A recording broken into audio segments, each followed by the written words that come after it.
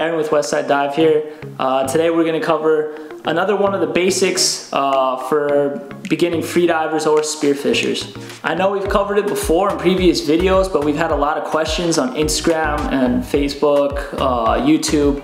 Uh, basically, people are wondering how exactly to keep your mask from fogging up because they've used some methods that they read about online, but they weren't exactly sure how to apply the method. So that's what we're gonna show you a little bit more in detail. So today I have my pretty banged up, but uh, still super reliable Sea Sports uh, mirrored freedive and spearfishing mask. It's uh, right in between, I would say, a low volume and a regular uh, size snorkeling mask. Um, this is just the one that fits my face really well. It's really comfortable. But as far as defogging goes, uh, it really depends on the company. It really depends on the brand and the models because they're all different.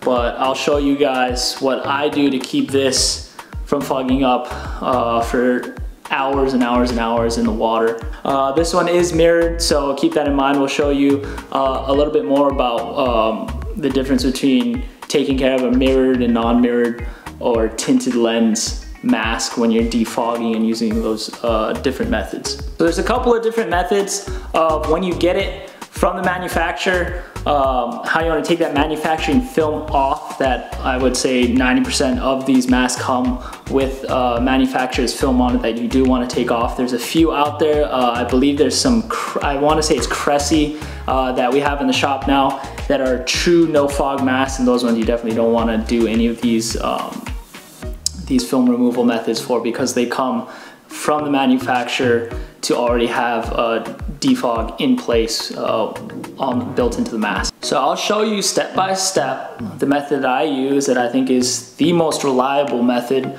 for keeping uh, your mask from fogging up.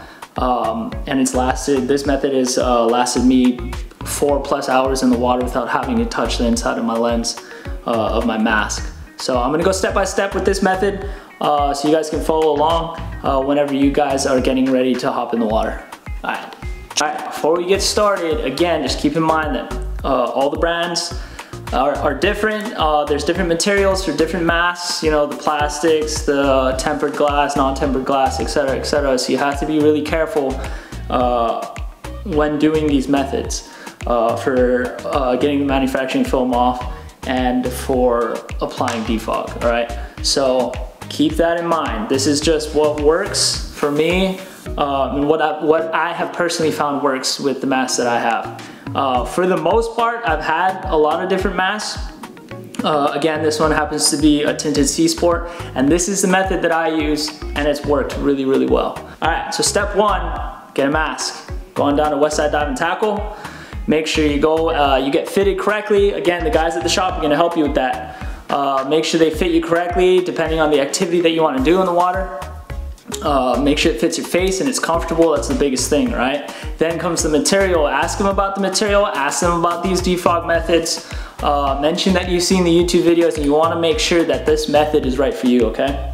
So, as soon as you purchase the mask, um, what I do, again, so say it's a Sea Sport tinted lens, so I'm just gonna use this because I don't wanna say anything about the other brands. If I haven't tried it, I don't wanna tell you to go do something and then we're gonna get some nasty comments. Uh, so this worked for this mask and a few other ones that I have, uh, different brands, different materials, um, and it's worked for those ones as well. But we will, we will just use this as the example for now, all right? So Purchased the mask, all right, good, step one is down. Step two, you gotta get that manufacturer's film off. So I'm gonna show you guys how to do that with a lighter, and this is uh, the method that I use. So we're gonna get the mask, it's got my nasty fingerprints all over it, and then get the lighter, all right? You're gonna go inside the lens like this, all right? I'm not gonna do it again because I already did to this mask when I first bought it. You're gonna get the lighter, all right? And you're gonna hold it underneath each lens, all right? Boom, boom. And you'll see through the lens, you'll see um, that film start to peel away. All right, you'll be able to see it kind of peel away from the heat from the center of wherever the flame is, it'll start peeling away and you kind of move the tip of the flame all the way around each lens until you see that film completely disperse, all right? You do that on both lenses, just lightly. Make sure you have enough offset. You're not melting the nose piece. You're not melting the rubber on the sides, right? Because you're gonna lose your seal. Quick couple of passes, it'll burn off pretty quick. You'll be able to see it, all right? All right, so that is step number two, all right? So that's step number two. We got the manufacturer's film off, all right? Now, this is where it got confusing for some people. That in and of itself may work for some brands, uh, but for the most part, if you want a long lasting uh, defog in the water, that alone is not gonna do the trick. Once you get that film off, then you go ahead and add some of your defog solution. Now there's a lot of defog solutions out there. There's a couple of different brands. Uh, we carry some down at the shop, so you can go and get some there. But I'm gonna give you a little bit of a life hack and save you some money. I think those defogs actually cost four or five dollars a pop for a tiny little bottle.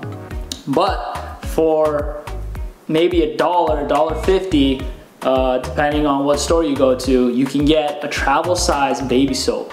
One of those Johnson & Johnson bottles are the ones that work perfectly. I don't have any of those on me at the moment, but what I do have is another unscented, you wanna get unscented if you can, baby soap, baby shampoo with a no tear, right? So that you're not stinging your eyes because it's gonna be on the lens there and it's gonna be up against your face, right? So uh, that's why I recommend the fragrance-free baby soaps, right?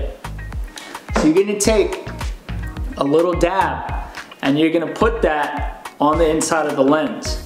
You're gonna smear it around with your finger so it creates a film all the way across the glass, okay? So once you get that baby soap or your defog solution smeared across uh, the inside of your lenses, you wanna make sure it's coated evenly all the way across both lenses. I give, personally, I give myself a kind of a heavy coat to make sure that it just sticks and it stays there for as long as I need it to.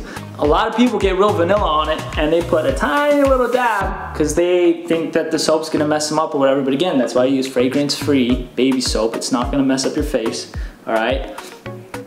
you can put a thick coating on there. I put a super thick coating on there to make sure it stays there for as long as I need it to because I'll be in the water for hours and hours and hours and hours on end, all right? All right, so this part's really important. A lot of people mess this up. A lot of people had questions on this because uh, even after applying uh, a nice film of baby soap or defog solution to the inside of their mask, there are a lot of things I've seen on social media, on YouTube, tutorials about applying defog solution to your mask and they don't get very specific, all right?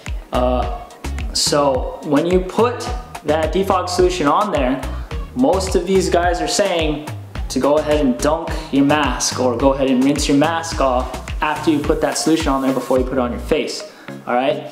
Again, this is just what works for me, but I'm gonna say go ahead and don't do that.